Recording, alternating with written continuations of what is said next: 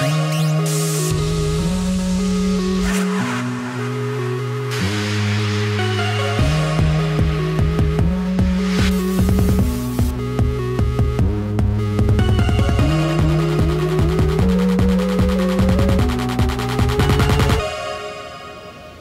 à tous, bonjour Cécile, bienvenue sur euh, Génération Numérique, l'émission euh, des loisirs high-tech, des loisirs pour toute la famille.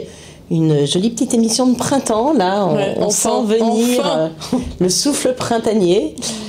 Bah, une émission bien chargée, comme chaque année, comme chaque, comme chaque une émission par an, c'est bien. Oui, voilà, comme chaque émission. Et vous nous retrouvez tous les vendredis 20h30, à la fois sur Watch, bien sûr, mais aussi sur les box. Alors, Free, canal 239, Orange 222 et Bouygues 127.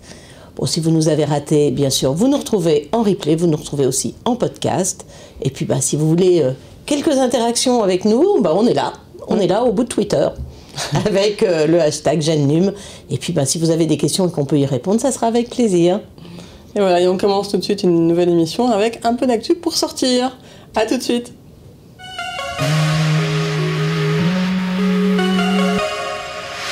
Tu nous emmènes où? Ah, C'est le printemps, on sort. Hein on sort et on va dans les musées. Non, je vous ai sélectionné deux, deux expos qui, euh, qui, viennent de commencer et qui sont top. Nous avons d'abord l'expo Palais de la Découverte. En fait, c'est même pas une expo, c'est un nouvel espace qui, va, qui, qui vient d'ouvrir et qui va rester permanent. Donc, il n'y a pas d'urgence à y aller, mais il faut y aller. Euh, donc voilà, un, petit peu des, un petit peu des dinosaures derrière oui, alors les dinosaures, c'est l'expo suivante. Voilà, là, on est sur informatique et sciences du numérique, donc qui a ouvert le 13 mars, comme c'est indiqué. Et euh, donc, c'est un espace où il y aura aussi des ateliers. Il y a plein de choses intéressantes à voir sur l'informatique. Euh, le coding, les robots, le numérique, euh, voilà, tout ce qu'il y a derrière euh, vos écrans. Les enfants, il faut les emmener là-bas, ils doivent comprendre tout ça, c'est obligatoire. Et surtout les filles, je ne dirai jamais assez, surtout les filles. Donc emmenez-les, il y a des ateliers, on s'inscrit sur place, c'est toujours fantastique, le palais de la découverte, il y a toujours plein de choses à toujours plein de choses à découvrir. Hein. allez-y, vraiment, je conseille à tout le monde d'y aller. Et une deuxième expo, donc les dinosaures, dans un autre registre, c'est à la Cité du Cinéma. Euh, vous, avez, vous, avez dû, vous aviez peut-être déjà visité Star Wars ou Harry Potter qui avait fait des expositions extraordinaires à la Cité du Cinéma. Et là, bah, c'est le temps des dinosaures. Donc Jurassic World, euh, dans, un, dans les studios, c'est hyper. Euh, enfin, comme d'habitude, c'est hyper bien fait. Et on retrouve tous les petits dinosaures tout mignons. Sans dents Et toi aussi, Nathalie, t'as vu des animaux? Alors moi, j'ai vu des, des, animaux, mais dans l'eau. Hein. il, y en a certains qui ont des dents aussi, mais euh, et on risque pas grand-chose. Je suis allée à l'aquarium de Paris, euh, bel endroit. Ciné Aqua, pardon qui euh, a commencé un partenariat avec Lego qui est assez mignon. Donc on va retrouver euh, tout au long du parcours, donc il y a les, poissons euh, normaux, les aquariums normaux de, ce... C'est un très bel aquarium. Il y a vraiment plein de choses sympas. Et puis c'est ponctué par des panneaux d'affichage avec des personnages Lego. On apprend plein de choses sur les océans. Il y a aussi des constructions Lego, il y a un petit air de jeu avec des Lego. Et euh, bon, ça permet de, changer un peu la visite. Et il y a une espèce de petite chasse au trésor avec des questions. Et puis on peut coller des petites gommettes. C'est mignon tout plein. Euh, l'aquarium, bah, il y a de plus en plus euh, de poissons. Il y a, on voit aussi bien les mers chaudes que les mers froides. On voit les coraux bien sûr, il y a le tunnel aux requins avec, euh, qui, qui, est vraiment une grosse partie de l'aquarium et on tourne autour. On a vraiment plein de vues avec, avec des, des, requins qui sont assez assez c'est une, expo temporaire ou euh, Ça dure jusqu'au 6 mai. 6 mai, d'accord. Le partenariat est assez longtemps. Jurassic World, Jurassic World, ça dure jusqu'au 2 septembre. Donc pas d'urgence, mais ça commence maintenant. Euh, du 14 avril au 2 septembre. Hein. Puis si on veut rester ben, plus dehors, on peut aussi aller dans les parcs d'attractions. Oui, ah, évidemment, la saison, le, soleil revient, donc les, tous nos parcs d'attractions préférés euh, sont en pleine réouverture. Avec des euh, nouveautés. Évidemment, Astérix, si vous voulez chasser des œufs, allez, allez chez Astérix. Ils ont d'abord de nouvelles animations très sympas, mais en plus, ils, ont ils organisent une chasse aux œufs pour les vacances de Pâques. Nous aussi, on a caché, des œufs hein, sur ouais, On a caché quelques œufs à vous les trouver, mais ils ne se mangent pas, ceux-là. Euh, ça peut être sympathique quand on a un peu un abus de chocolat. Donc, Astérix, ils ont deux nouvelles attractions, nouveaux spectacles, pardon, qui vont beaucoup plaire aux enfants avec des illusions. Enfin bon, il y a pas mal de choses à voir. Il y a une grosse nouvelle attraction aussi au Futuroscope à Poitiers. Ah là, ça va plaire, mais à toute la famille peut-être plus au papa. Je veux pas être euh, dans les clichés, mais quand même. c'est autour des voitures. Hein, avec Sébastien Loeb, rien que ça. Voilà, et on sera avec une expérience de réalité virtuelle. Mais on a quelques images vidéo de, de, de, ce qu'ils promettent. Je pense que ça va plaire à beaucoup. Oui, parce que euh, je pense que même euh, au niveau sensation, on va vraiment en avoir. Donc, euh, Non, là, ils viennent, c'est une, une attraction virtuelle. On est d'accord, évidemment, il n'y a pas Sébastien Loeb qui va vous emmener faire des balades toute la journée. Mais, Mais on aura quand même l'impression d'avoir à côté de soi. Voilà. Et on sera donc dans la voiture, au volant, avec tout le circuit qui va avec. Je pense que, attention, accrochez-vous. mais ça va être bien sympa. Donc ça, c'est au Futuroscope. Euh, ça commence dès mois d'avril. Hein. Et puis euh, sinon, une, une, petite sortie qui peut être sympathique euh, si vous habitez près de Paris, c'est les dimanches au galop à l'hippodrome de Longchamp. Ça revient tous les ans. Exactement. Et c'est vraiment une occasion pour les familles d'entrer dans un hippodrome, de voir comment se déroulent de vraies courses, mais aussi de profiter d'animations euh, avec les chevaux et, et avec licorne. les licorne, c'est quand même assez incroyable. voilà, il y a des tours en poney licorne, donc euh, vous pouvez dire, bah non, je peux pas, j'ai poney licorne. Hein. Bon, il n'y a pas que des licornes, hein, ils ont fait, c'est très, c'est assez réaliste. Euh, en fait, c'est gratuit pour les enfants, donc ça c'est déjà assez sympa. Les adultes ont un petit un petit, un petit truc à payer, mais c'est pas très élevé. Et il y a énormément d'animations gratuites au sein de l'hippodrome. Donc euh, il y a de quoi s'amuser pendant une journée euh, et on peut aussi voir des courses. Donc euh, franchement, tous ceux qui, qui, aiment les chevaux, allez-y. Oui, c'est une, sortie qui change. en général, les enfants qui, qui le connaissent le réclament. la réclament. on, a, on a fini avec les sorties? Bah oui, on, va faire un petit événement sympathique là. Ah oui, une dernière actualité qu'on a découvert il n'y a pas longtemps. Hélène Darroze, je ne sais pas si vous connaissez, euh, une grande chef euh, de cuisine qui a son restaurant, qui a deux étoiles à Londres et une étoile à Paris, qui a son ses restaurants donc, euh, qui a eu l'honneur d'avoir sa Barbie à son effigie parce que Barbie récompense les femmes. A récompensé 17 femmes d'exception, dont 14 vivantes. Et pour ces 14 femmes vivantes, elles ont reçu, c'est pas des Barbies commercialisées, non. elles ont reçu une Barbie à leur image c'est-à-dire qui ont été un peu relookés. Euh, Pour ressembler un peu à la personne qu'ils veulent honorer. On a quelques mots d'Hélène Darroze euh, pendant la présentation. Donc autant vous dire qu'en effet, je suis très fière et très honorée de d'avoir ma poupée Barbie. Euh, je vous en remercie. Hein. c'est vraiment du fond du cœur que je le dis. je, je, suis aussi très fière et très heureuse de, de pouvoir montrer que, en fait, ben voilà, c'est vrai que euh, j'ai la chance de vivre ma passion, j'ai la chance de vivre mes rêves et j'ai la chance de pouvoir dire que rien n'est impossible euh, quand on y croit, quand on, quand on le veut et quand surtout euh, on se donne à fond et quand surtout on reste soi-même et en accord avec ce qu'on est. Donc si c'est le message à travers cette poupée Barbie, à travers mon histoire à moi que je peux passer à des jeunes filles et si je peux les inspirer à travers cela, ben ça c'est vraiment, ça c'est une fierté, ça c'est vraiment un bonheur et, et voilà, et je vais continuer à, le faire, à le dire. Rien n'est impossible quand on y croit, quand on le veut, et surtout quand on reste honnête avec soi-même. Voilà. Alors moi, franchement, je salue l'initiative parce que, voilà, des femmes inspirantes qui vont parce que Barbie a une notoriété ça on peut pas on peut pas le nier. Et donc ça va pousser les petites filles à se réaliser à réaliser leurs rêves. Ça je trouve ça super. Mais j'avoue une petite déception. Voilà une. J'ai un petit frein j'ai un petit quelque chose. C'est à dire que cette poupée là elle va pas être euh, commercialisée. Donc on va pas pouvoir avoir la Barbie chef. Ce qu'on va pouvoir avoir c'est Barbie et Ken cuisine. Et là grosse déception nous avons le Ken en chef et Barbie en gentille petite femme d'intérieur quand même. Ouais. Est-ce que je conseille donc c'est d'ouvrir la boîte et d'échanger les tenues parce qu'en plus la, la tenue de Ken elle est cintrée et tout elle est très bien parfaitement à Barbie hein moi je trouve. Et on échange directement les tenues on met le tablier rose à Ken et le, tenue de chef à Barbie. on jette le tablier rose après Non non ça ira très bien à Ken. je vote pour tout de suite. Voilà c'est effectivement une petite déception. Voilà. Moi j'aurais euh, voulu qu'ils aillent jusqu'au bout. On a une Barbie pilote bah pourquoi on n'aurait pas une Barbie chef Bah oui, hein, hein alors. bon, on va leur demander un matin. Voilà. le message est passé. Merci. On, on, va aller du côté parce qu'il peut faire moins beau ou, on peut être en famille entre amis avoir envie de jouer. Oui, mais on va hein passer pour ça à nos coups de cœur de en jouet, jeu pour euh, le printemps, pour jouer au printemps. À tout de suite.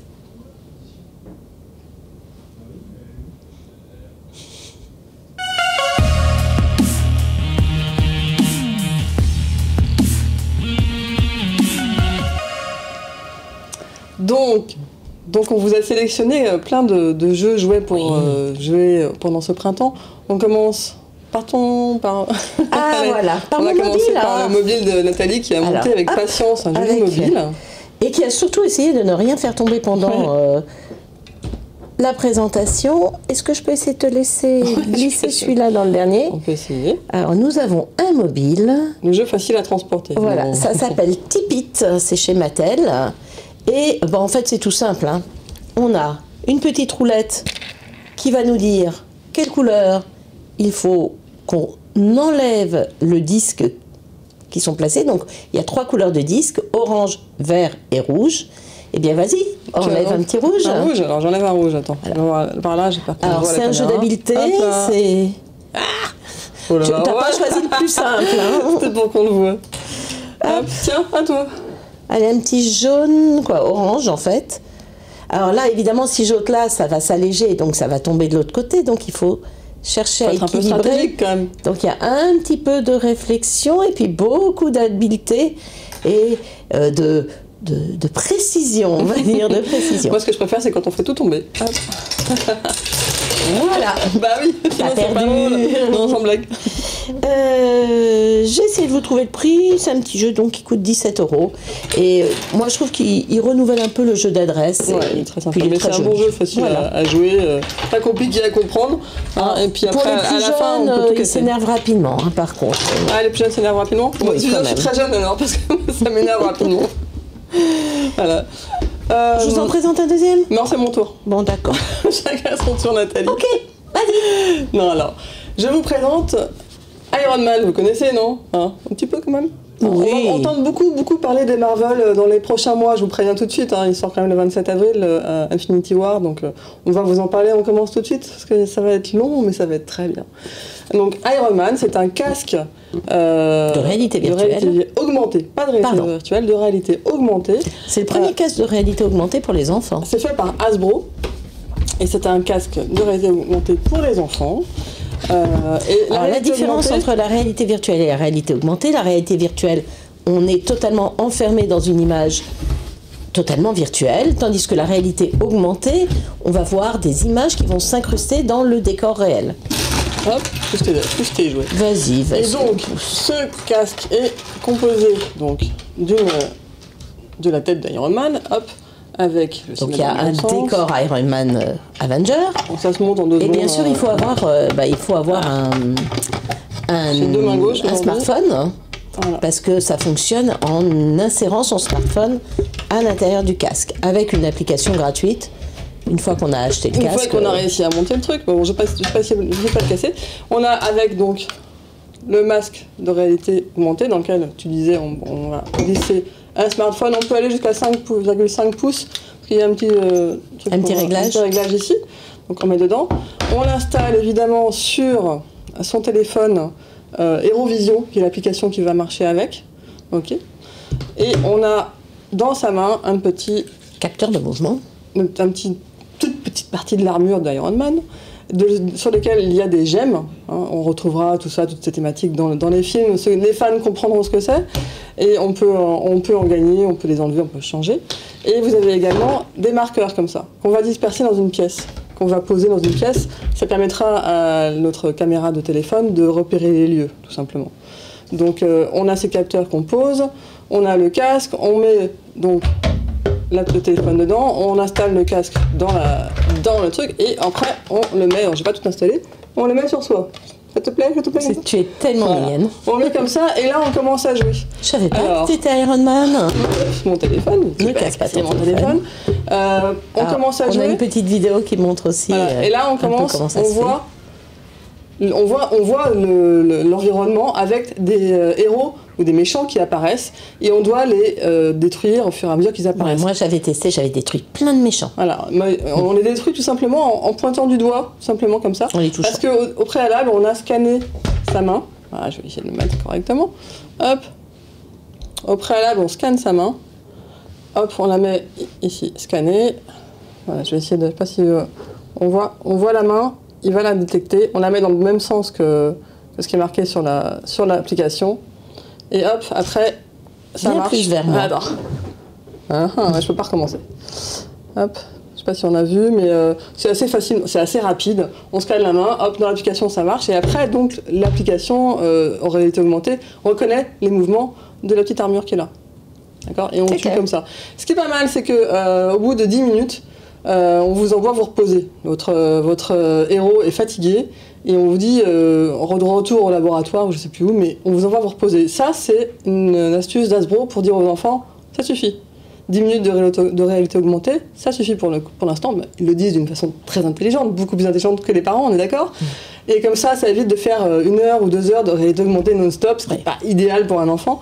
Le jeu est à partir de 8 ans. On rappelle, Je crois les- qu'il est à 55 euros, c'est ça? Une cinquantaine d'euros. euh, il vient de sortir. Et il est à partir de, de 8 ans, euh, parce que euh, bon, avant ça peut être troublant, même si c'est pas de la réalité virtuelle, on reste quand même euh, la réalité augmentée, on accompagne les enfants là-dedans, mais là c'est hyper facile, il n'y a aucun risque dans l'espace où on est, grâce aux balises et grâce à, à toute organisation en réalité augmentée. Voilà, chez Hasbro. D'accord. Hein, je, range mes, je range mon armure, excuse-moi. Bon, on reste dans le jouet? Oui, vas-y. Allez, on reste dans le jouet. Est-ce que tu as réussi à échapper à ça Oui, c'est toi qui me l'as montré, je ne connaissais pas. Mais j'ai beaucoup aimé. Alors, ce petit singe de Wowie, ça s'appelle Fingerlings. Et ça a été. Alors, c'est un petit singe qui va fermer les yeux, qui va parler, qui va remuer. Il a plein de petits capteurs. Il aime qu'on le caresse. Il sait s'il est à l'endroit ou à l'envers. Et il va réagir en fonction. On peut lui faire faire des bruits bizarres, parfois, s'il veut bien. On peut lui faire faire des bisous. Non, il veut pas. Pas de bisous, Nathalie. Voilà, plein de bisous. Et ça, ça a été un carton à Noël. En France, on n'en a pas eu beaucoup. Je vais me- vais me permettre de le faire taire. Parce qu'il n'y en a pas eu beaucoup de livrés en France. Donc, euh, ça, tous ceux qui ont été livrés ont été vendus.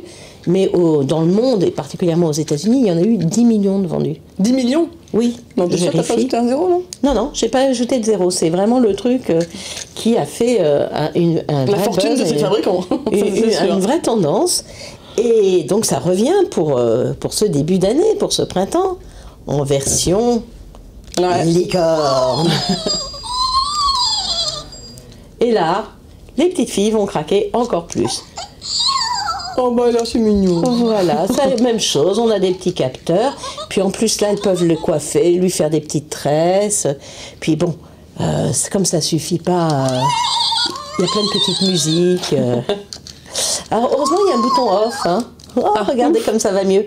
Puis comme ça suffisait pas d'avoir juste une nouveauté licorne, hop, Nathalie tout et va bien. Hop, il y a aussi la version paillette du petit singe. Ah oui Voilà. Donc c'est chez Fingerling chez Bowie et ça coûte euh, oh ça coûte une petite vingtaine d'euros, un petit peu moins de Ouais, 20 je crois que c'est euros. 19 euros. Voilà, il y a plein de plein de bruits, plein de, de petits de petits capteurs. Personnellement, euh, j'aime mieux le petit singe, je le trouve très mignon. voilà, voilà, voilà, voilà. Allez, on joue.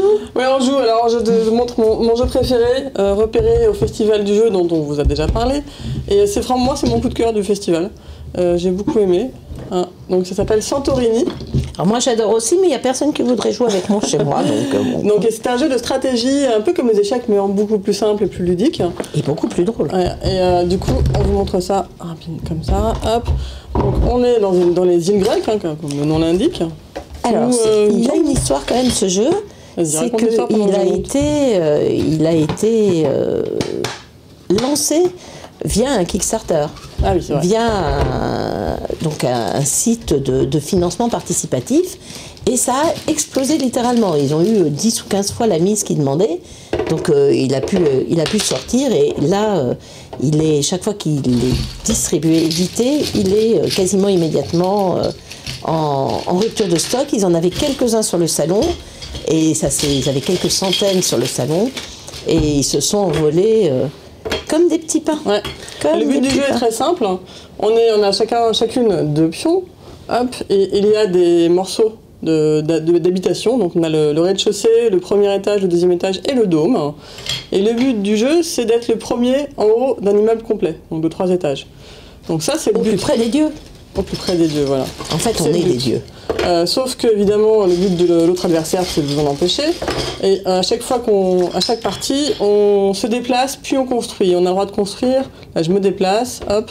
J'ai le droit de construire autour de moi, même en diagonale ou dans les Voilà. cages, j'ai le droit de construire. Donc là, je construis ça. Là, c'est au tour de Nathalie. Elle se déplace, puis elle construit. On va dire là. Par contre, euh, moi, je me redéplace et je construis un deuxième étage. Hop là. D'ailleurs. J'ai oublié un truc, non Non, non, bon. c'était. Voilà. Voilà. Euh, Nathalie va continuer. donc Mais elle après, ne peut pas monter directement sur le deuxième étage. Voilà. Elle est obligée de passer par une case. Premier étage, puis deuxième étage. On ne monte que d'un étage à la fois. Voilà, donc là, il faudra Mais- que je fasse comme ça, puis comme ça.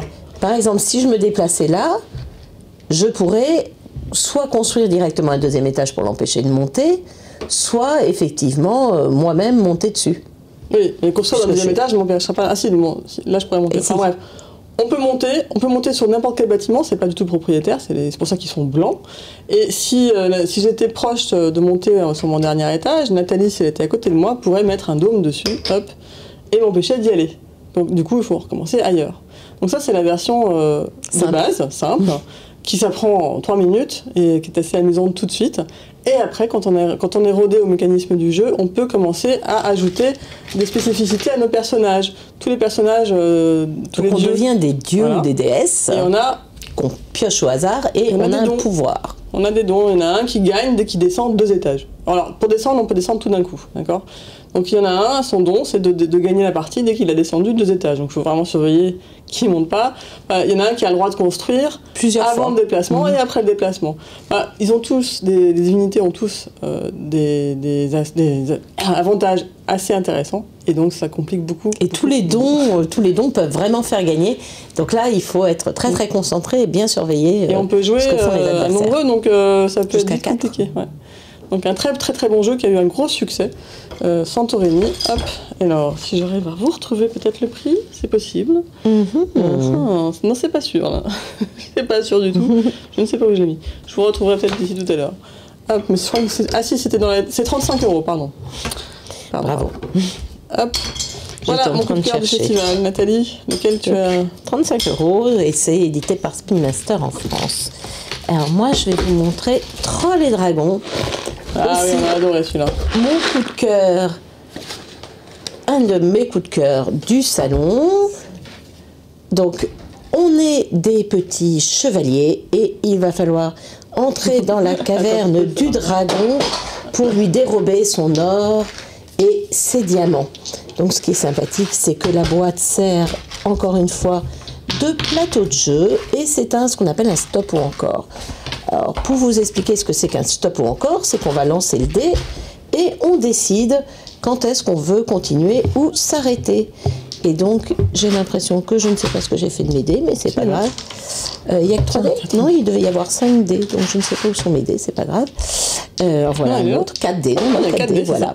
Et on lance, il va falloir avoir des diamants pour pouvoir prendre des diamants au fur et à mesure. Et pour, quand on a une clé et une porte, on peut rentrer dans la caverne suivante. Mais si on a des trolls, les dés sont immobilisés et on ne peut plus les relancer. Donc il faut faire attention à ne pas avoir un maximum de trolls. Sinon on perd tout et ça va dans la main du troll.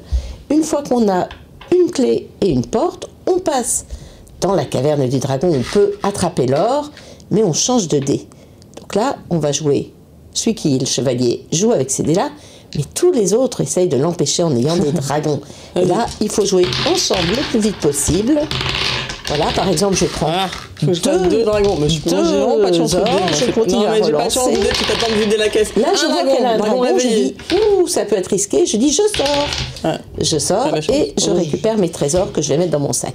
Voilà. De toute façon, elle peut, elle peut gagner tout le temps, j'ai pas de chance au dé. On, on apprend le jeu en quelques secondes. Voilà. On joue quel que soit l'âge, puisqu'il n'y a pas vraiment besoin de compter. Et euh, c'est vraiment très drôle parce que le fait que les autres puissent vous, empêcher met énormément, énormément d'ambiance. Voilà. Et Troll et Dragons, Troll et Dragons, je peux même vous dire combien ça coûte.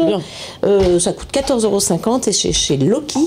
Loki, c'est une nouvelle marque qui vient de Yellow et qui est une marque dédiée à la famille. Et moi, je voulais vous présenter Joke de Papa. Je sais pas si vous connaissez les challenges de blagues en- qui tournent beaucoup cette année où on doit se raconter des blagues et le premier qui rit a perdu. Eh bien, écoutez, maintenant, on en a fait un jeu chez, chez Gigamic.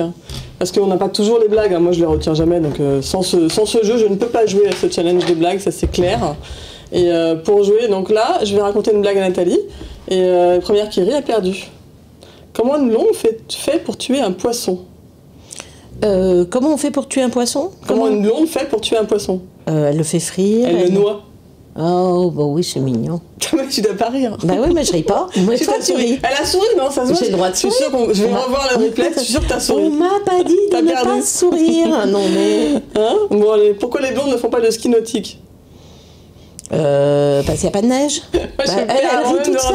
hein. Je pense que je vais très doué à ce jeu. Elles n'ont pas encore trouvé de lac en pente. C'est mignon aussi. Mais oui, moi, je pense que je serais... tu vas perdre. Donc voilà, le jeu est simple et évidemment un bon jeu d'ambiance. euh, On est partout en vacances, c'est clair. Un petit jeu d'apéro aussi. euh, les jogs de papa chez Gigamic. Et euh, le prix, non, je ne l'ai pas. Décidément, les prix, moi aujourd'hui. Allez, moi, je vous montre un, un petit. Parce que comme il y a pas mal de ponts, tout ça qui vont arriver, une petite application très sympathique. C'est un cahier qu'on peut acheter euh, un peu n'importe où, hein, dans les relais, dans les librairies. Euh, ça coûte 5 euros, c'est les éditions animées. Il y a le cahier magique pour s'occuper des jours de pluie ou le cahier magique pour s'occuper dans le train. Hop, l'enfant colorie le. C'est toi qui fais des, des coloriages C'est moi qui ai fait. Oh. Ah, j'ai j'ai beaucoup œuvré pour vous. C'est bien, tu n'as pas dépassé. Donc, non, tout à fait. Et alors, normalement, j'ai sauvegardé mes œuvres. Donc, une fois qu'on a colorié, on scanne son dessin et, Ah, ça bouge en plus. et Ouais, ça on avait bouge. déjà présenté souvent des cahiers animés. très jolie musique aussi. Oui, mais celui-là, il est spécial. Hop, j'ai bon, pas le son.